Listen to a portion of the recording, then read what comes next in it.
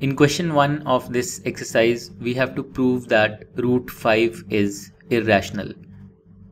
So to do this, we will use the method of proof by contradiction.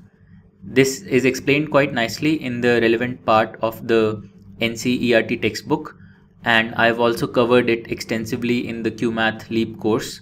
So if you have any doubts, do refer to the relevant materials in these. So Let's start by supposing that root 5 is a rational number.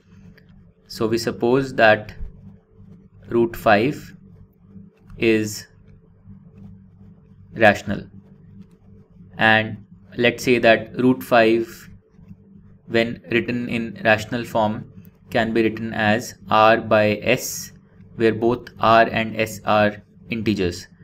Now if r and s have any common factors, let's cancel them out to get this as a by b in the lowest form. So we have root 5.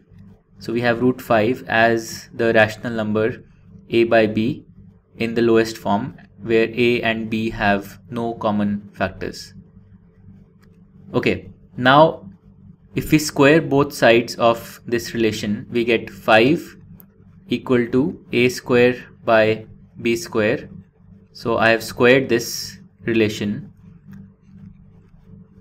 and I get 5 is equal to a square by b square which I can write as a square equal to 5b square. Now in this relation a square equal to 5b square the RHS, the right hand side, is a multiple of 5 because we have this factor of 5 here. And this means that a square is also a multiple of 5. And because a square is a multiple of 5, this means that a itself must be a multiple of 5 as well. And the result I'm using here is theorem 1.3, theorem 1.3 from the NCERT textbook which says that if p is a prime number which divides a square then p must divide a as well. So in this case because 5 divides a square then 5 must divide a as well.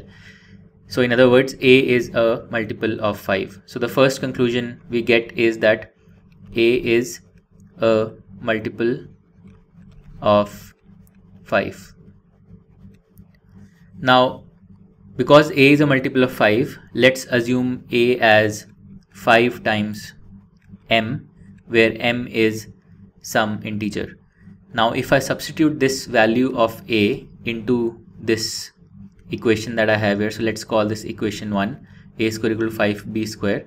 So if I substitute a equal to 5m into equation 1, I will get 5m square whole square equal to 5 b square and let me square this so I get 25 m square equal to 5 b square and let's cancel out a factor of 5 on both sides and then I can write this as b square equal to 5 m square. Now this relation again means that b square is a multiple of 5 because on the RHS on the right hand side we have this factor of 5 so b square is a multiple of 5 and again using theorem 1.3 we can conclude that b itself must also be a multiple of 5 and now because b is a multiple of 5 I can write b as 5 times some integer n. So what I have concluded is that a is of the form 5m, a is a multiple of 5 and b is of the form 5n so b is also a multiple of 5 but this these two relations put together this is a contradiction. Because in this form a equal to 5m and b equal to 5n both a and b have a common factor of 5 and when we started out our analysis we assumed that a and b have no common factor so we started out by assuming that A and B have no common factor, but our analysis led us to the conclusion that A and B have a common factor of 5. So this is a contradiction and this contradiction is happening because of our incorrect assumption of taking root 5 as a rational number a by b. So this assumption, this original assumption is incorrect. Hence, we can conclude that root 5 cannot be written as a rational number. So this original assumption that we took, this is incorrect. Root 5 cannot be written as a rational number. That proves that root 5 is irrational. And with that, question 1 is done.